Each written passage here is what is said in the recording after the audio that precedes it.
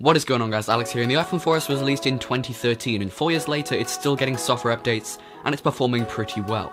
You can grab one these days for about $150, but is it worth it? So let's find out.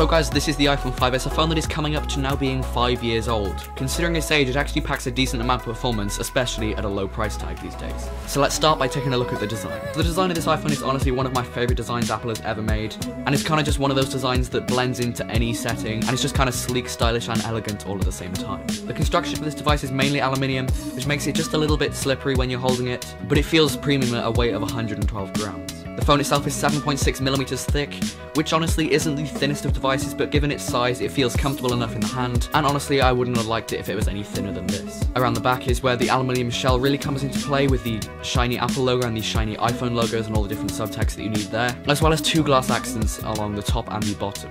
Now this top one houses the 8 megapixel camera unit which we'll get onto a little bit later, and the bottom one serves no real purpose apart from being an antenna. Along the top of this phone is the power button, which is placed at the perfect spot for me considering the phone's size, and that's all that's on the top. Along the bottom we then find the microphone and speaker units, the headphone jack and the lightning port. And finally along the left hand side is the volume buttons and the silent switch. Around the front of the phone we find the selfie camera, the earpiece speaker and the fingerprint scanner, as well as the 4.0 inch IPS LCD panel.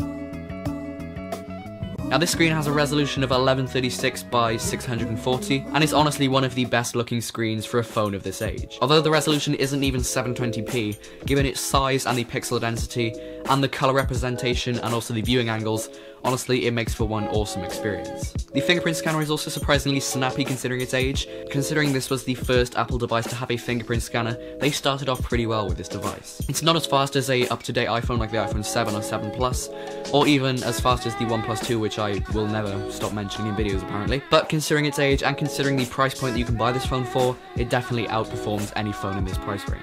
On the camera side we have a rear 8 megapixel camera and a 1.2 megapixel selfie camera. The rear camera performs surprisingly well, especially if you're looking to post to social media, but unfortunately the same cannot be said for the selfie camera, which considering its small sensor size is just a little bit too grainy and doesn't really make for the best of photos. The photos you take on the selfie camera may be okay for social media sharing, but honestly I'd avoid using them. On the spec side, we have the Apple A7 processor paired with 1GB of RAM. So yes, it'll be better than the iPhone 5 or even the iPhone 4S. If you want to see if either of those phones are still worth it, there are links in the description below. And speaking of performance, the performance on this phone is not the most impressive, but considering its age and the price point that you can get it for right now, it's not too bad. Multitasking between standard system UI apps like the Settings app or the Photos app, and then apps such as Instagram, Snapchat, and Spotify, honestly isn't all that bad of an experience. Occasionally it won't render the touches that I'm actually doing on the screen because of the lag that it's experiencing, but honestly honestly this lag isn't too noticeable and it is quite well disguised in the system UI. If we recall opening up Instagram in the iPhone 4S Is It Still Worth It video which I did just recently, you can see here it's just taking forever to open, which is definitely not the case on this iPhone. And another upside about buying this iPhone is that it will get iOS 11. It's actually on the supported device list on the Apple website to get iOS 11, which I think is pretty impressive. Hopefully they actually focus on efficiency and performance with this phone. This is honestly a great contender for anyone in the budget market right now. And finally now we have the battery life. So power on this phone is a 1560 mAh cell, which charges up a little bit too slow for my liking, and honestly the battery life itself is just about average. You don't really tend to get more than 3 or 4 hours of screen on time using this phone, but using moderate usage during a day, it'll last pretty much from about 8 o'clock in the morning to probably about 5 o'clock in the evening. If there was one fault that I had with this phone, it would honestly be the fact that it is 4 inches in size, which is just way too small for my personal use. Personally, as I use the OnePlus 2, this phone is 5.5 inches in screen size, and it's pretty much the perfect size for my hand. So going back to using a 4 inch phone is honestly like holding a Nokia 3310, it just feels absolutely tiny. Of course this isn't an issue if you've been using phones of this size, or even if you switch down you'll get used to it in a couple of days. But overall, I honestly think this phone is definitely one of the best contenders in the budget market right now. You can pick one up for 100 to $150 right now on eBay in pretty good condition, so if you're in the market for a low budget phone that performs well and will get iOS 11, then this is the phone for you. So thank you guys for watching and I will catch you in my next video.